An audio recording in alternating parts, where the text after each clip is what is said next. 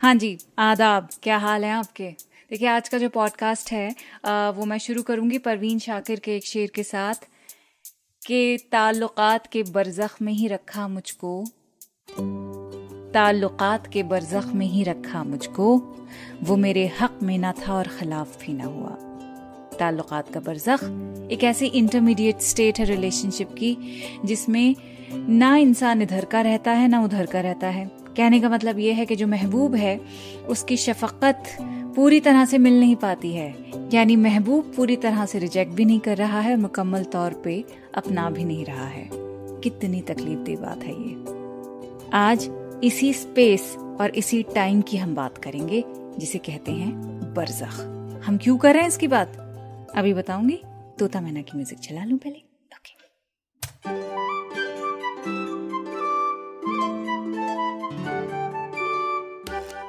The Quint पर शुरू हो चुका है उर्दू नामा मेरा नाम है फबीहा सैयद।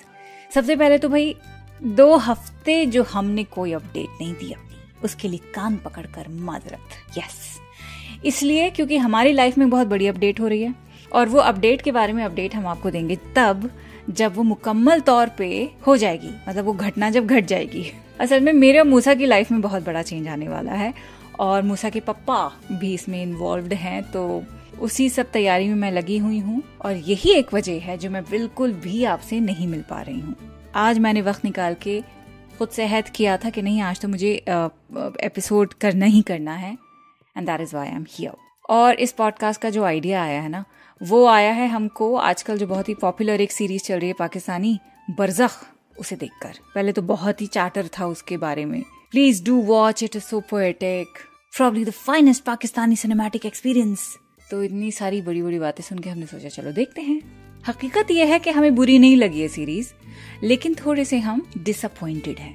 डिसअपॉइंटेड मैं इसलिए हूँ क्योंकि आसिम अब्बासी, जिन्होंने ये सीरीज़ बनाई है he is a wonderful director ज़बरदस्त लिखते हैं, ज़बरदस्त डायरेक्ट करते हैं और इनकी जो फ़िल्म थी केक वो मुझे बेहद पसंद है और उससे भी ज़्यादा पसंद है चुड़ैल्स, जो इनकी एक और सीरीज़ है। Mind blowing I think Churails जैसा उसके मयार का आज तक पाकिस्तानी सिनेमा में कुछ नहीं बना है। And then comes Barzakh. वैसा भी पाकिस्तानी सिनेमा में आज तक कुछ नहीं बना कि Barzakh is a unique experience for cinema goers हाँ तो डिसअपॉइंटमेंट की बात मेरी ये है कि आसिम अब्बासी की ये जो दोनों प्रोजेक्ट्स हैं केक एंड चुड़ैल्स अगर आप देखेंगे उसके बाद आ, आपको लगेगा कि बरजख में हल्का हाथ रख सकते थे ये थोड़ा। कुछ चीज़ें फॉलो नहीं कर पाएँगे आप क्योंकि बहुत ज़्यादा पोइट्री है और फिर कहीं ना कहीं आपको शिकवा होता है डायरेक्टर के साथ कि भाई it's wonderful writing but you could have gone a little easy and gentle on people like us again ये एपिसोड रिव्यू नहीं है बिल्कुल भी, लेकिन मोटा मोटा बस यही है कि देख लीजिए आप बरजा। थोड़ा आपको पॉज करके रिवाइंड करना पड़ेगा। अच्छा उन्होंने अब क्या बोला था, किस कॉन्टेक्स्ट में बोला था, वो करने के चक्कर में आपको थोड़ा सा पाँच छह मिनट पीछे पीछे जा जाके and then replaying the whole thing तो वो सब रहेगा okay anyway the word Barzakh Barzakh का मतलब क्या है? देखिए, इस्लाम में क्या होता है कि बरजख का मानी इस तरह से समझाया गया है कि मौत हो जाती है और मौत के बाद जो फाइनल डेस्टिनेशन होती है, वो होती है हेवन या हेल और जो तय किया जाता है डे ऑफ़ जजमेंट पर डे ऑफ़ रेसरेक्शन में, जब सारे जो जो सब मुर्दा होंगे, उन सबको जगाया जाएगा और उसके बाद खुदा के सामने हिसाब होगा और उस हिसाब की बिना के ऊपर ये तय किया जाएगा कि आप जहन्नम में जाएँगे कि जन्नत में जाएँगे. अच्छा इस सबसे पहले, यानी मरने के फ़ौरन बाद और इस सबसे पहले एक स्पेस और टाइम होता है, जिसे कहा जाता है बरजख. और वो जो स्पेस है और जो टाइम है, वो है वेटिंग का टाइम सिर्फ़ इंतज़ार किया जाता है उसमें. लिटरली बरजख के मानी होते हैं बैरियर या पार्टीशन के. तो ये बैरियर है मरने से लेकर डे ऑफ़ जजमेंट तक का बिफोर द रिसरेक्शन और ये जो स्टेट ऑफ़ एग्जिस्टेंस है, इसमें माना जाता है कि जो रूहें होती हैं they are in a state of waiting Barzakh आपके लिए स्ट्रेसफुल रहेगी कि पीसफुल रहेगी? वो तय किया जाएगा कि आपकी डीड्स कैसी रही थी ड्यूरिंग द अर्थली लाइफ तो बरजख वो टाइम और स्पेस है जहाँ पे सिर्फ़ इंतज़ार किया जाता है।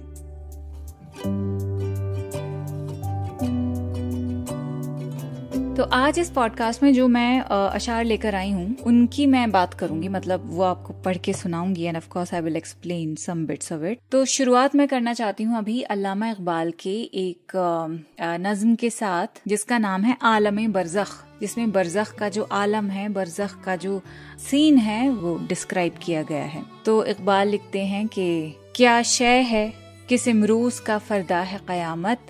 ए मेरे शबिस्तान कुहन, क्या है कयामत? ये डायलॉग है जो मुर्दा अपनी कब्र से कह रहा है। आदमी मर गया है और जो कब्र है उसकी ग्रेव है। उस ग्रेव से वो बात कर रहा है कि क्या शय है किस इमरोज का फरदा है कयामत। ए मेरे शबिस्तान कोहन, क्या है कयामत? जो कब्र है, वो फिर जवाब देती है। कहती है ए मुर्दा साद साला तुझे क्या नहीं मालूम? हर मौत का पोशीदा तकाजा है कयामत. सो डेट सोल सवाल पूछ रही है कि डे ऑफ़ जजमेंट कयामत क्या है?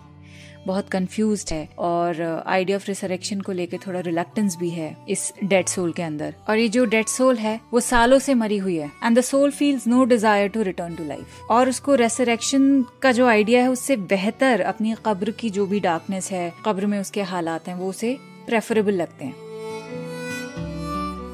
अब जो ग्रेव है, कब्र है, वो सोल को रिस्पॉन्ड करती है, सदाए गैब you know with a mysterious voice तो वो एक्सप्लेन करती है कि डे ऑफ़ जजमेंट एक पोशीदा तकाजा है। It's a hidden demand of every death and that it's a time when the reality of one's existence is laid bare ये बहुत लंबी पोम है। मैंने आपको सिर्फ़ एक, दो ही अशार इसके सुनाए हैं।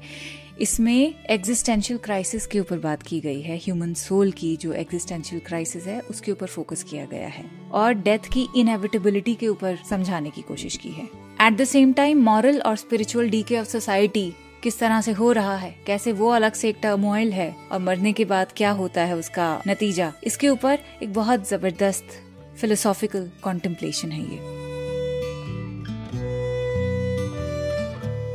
अब जो आपको मैं नज्म सुना रही हूँ, उसका भी उनवान है आलम बरजख, लेकिन इसे लिखा है फहमीदा रियाज ने। तो ये आपको मैं पढ़ के सुनाऊँगी और उसके बाद समझाऊँगी। लिखती हैं कि ये तो बरजख है यहाँ वक्त की इजाद कहाँ, एक बरस था कि महीना हमें अब याद कहाँ। वही तपता हुआ गर्दू, वही अंगारा जमी जा बजा तिश्ना आशिफ्ता, वही खाक नशी जीस्त करने की मशक्कत ही हमें क्या कम थी, मुस्तजद उस पे पिरोहित का जुनून ताज़ा सबको मिल जाए गुनाहों का यही खमियाजा। ना रवादार फजाओं की झुलसती हुई लू मुहतसिब कितने निकल आए घरों से हरसू। ताड़ते हैं किसी चेहरे पे तरावट तो नहीं, कोई लब नम तो नहीं, बशरे पे फरहत तो नहीं। कूचा कूचा में निकाले हुए खूनी दीदे, गुर्ज उठाए हुए धमकाते फिरा करते हैं। ज़िंदगी अपनी सी तौर जो गुजरी गालिब, हम भी क्या याद करेंगे कि खुदा रखते थे। बीच बीच में से आपको मैंने सुनाई है। बेसिकली जो पोम है, ये रिफ्लेक्शन है ज़िंदगी की कठिनाइयों पर। खास फोकस है सफरिंग और ऑपरेशन के ऊपर। ये जो नज्म है it describes the experience of the time in Barzakh जो इंटरमीडियरी स्टेट होती है डेथ और रिसरेक्शन के बीच। तो इसे, इस बरजख को बहुत ही टाइमलेस और डिसोरिएंटिंग इसमें बताया गया है, जहाँ साल का और महीने का जो अंदाज़ा है, वो नहीं लगाया जा सकता। इस नज्म में ऐसी दुनिया पेंट की गई है जिसमें तपिश है, जहाँ पे लोगों को टॉर्मेंट किया जाता है फिजिकली और इमोशनली तो ये जो पोम है, अगर आप पढ़ेंगे पूरी, इसमें इंसान के डेली स्ट्रगल्स पे फोकस किया गया है, जहाँ पे जीने के लिए ही जो एफर्ट्स लगाने पड़ते हैं, वही इंसान को हल्कान कर देता है। वही अपने आप में इतने एग्जॉस्टिंग हो जाते हैं। और फहमीदा रियाज इसमें सवाल कर रही हैं कि पर्पस फिर क्या है ऐसी ज़िंदगी का? मकसद क्या है ऐसी ज़िंदगी का, जिसमें सिर्फ़ हल्कानियत ही है? सो तंग आकर आखिर में वो यही कंक्लूड करती हैं कि भाई, ऐसी ज़िंदगी का फिर कोई फ़ायदा नहीं है। और यहाँ पे गालिब का वो रेफरेंस देती हैं कि उनकी तरह भी हमको भी कोई याद नहीं करेगा। क्योंकि हमारी ज़िंदगी में बहुत ही ज़्यादा परेशानियाँ थी ट्रायल्स थे ट्रिब्यूलेशन थे। ज़िंदगी अपनी इसी तौर जो गुजरी गालिब, हम भी क्या याद करेंगे कि खुदा रखते थे। अब आपको सुनाते हैं हम परवीन शाकिर का वो शेर, जो पॉडकास्ट की शुरुआत में आपको सुनाया था हमने। पूरी गज़ल भी सुनाऊँगी। पहले शेर दोबारा से मैं आपको सुनाना चाहती हूँ कि ताल्लुकात के बरजख में ही रखा मुझको, वो मेरे हक में ना था और खिलाफ भी ना हुआ। ये जो शेर है it express the emotional state of being caught in the Barzakh जो कि है एक intermediate state of a relationship कि ना इधर के हैं हम, ना उधर के हैं। जहाँ पे she is neither fully connected nor entirely disconnected from this other guy ताल्लुकात के बरजख में ही रखा मुझको। एक स्टेट ऑफ़ लिम्बो है उनके रिलेशनशिप्स में, जहाँ वो क्लोजनेस और डिस्टेंस के बीच फंसी हुई है। अनएबल टू मूव फॉरवर्ड और लेट गो और दूसरा मिसरा है, वो मेरे हक में ना था और खिलाफ भी ना हुआ। ये दूसरा जो मिसरा है दिस इंडिकेट्स कि जो जो महबूब है, वो ना ही फुली सपोर्टिव था, ना ही एंटायरली अपोज टू द मोहब्बत जो कि शायर ने कभी ऑफ़र की होगी which means the relationship lacks clear definition और कमिटमेंट लिविंग द शायर in an unresolved state clarity नहीं है। पूरी गज़ल आपको सुनाओ ठीक है। लिखती हैं, अगरचे तुझसे बहुत इख्तलाफ भी ना हुआ, मगर ये दिल तेरी जानिब से साफ़ भी ना हुआ। ताल्लुकात के बरजख में ही रखा मुझको वो मेरे हक में ना था और खिलाफ भी ना हुआ। अजब था जुर्म मोहब्बत कि जिस पे दिल ने मेरे सजा भी पाई नहीं और मुआफ भी ना हुआ। मलामतों में कहा सांस ले सकेंगे वो लोग कि जिनसे कुए जफा का तवाफ भी ना हुआ। अजब नहीं है कि दिल पर जमी मिली काई। बहुत दिनों से तो ये हौज साफ़ भी ना हुआ।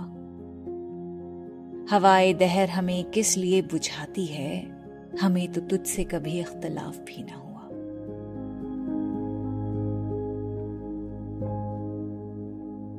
अब पॉडकास्ट के आखिर में आपको हम सुनाएँगे प्रतपाल सिंह बेताब का ज़बरदस्त शेर। लिखते हैं, मैं तो बरजख के अंधेरों में जलाऊँगा चराग। ये हुई ना बात?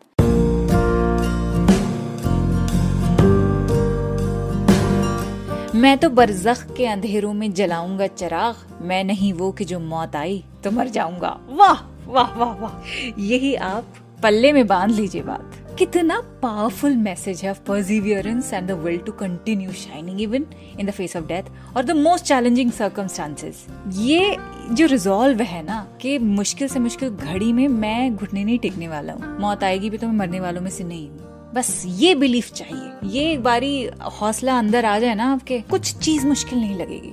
पूरी गज़ल पढ़ते हैं, बहुत ज़बरदस्त है, लिखते हैं।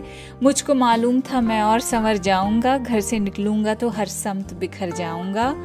राज मौजों के समंदर ने बताए हैं मुझे।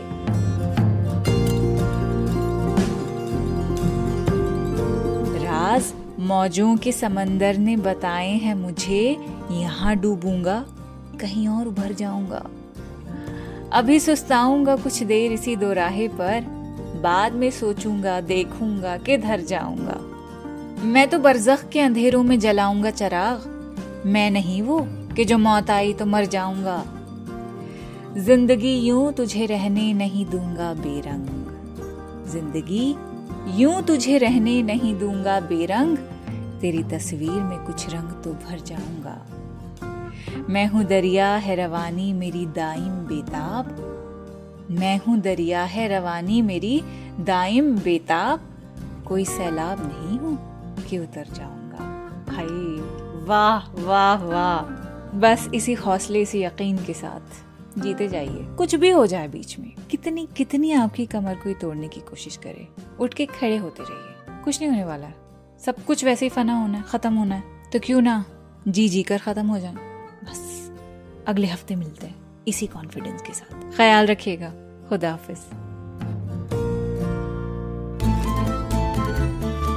नामा द क्विंट का ओरिजिनल पॉडकास्ट है जिसके एग्जेक्टिव प्रोड्यूसर्स हैं शैली वालिया और ऋतु कपूर इस एपिसोड को प्रोड्यूस किया है प्रतीक लिधु ने और इस पॉडकास्ट की रिसर्च स्क्रिप्टिंग और एडिटिंग की है फबीहा सैयद ने। और इसकी बैकग्राउंड म्यूज़िक ली है बी एम जी प्रोडक्शन से।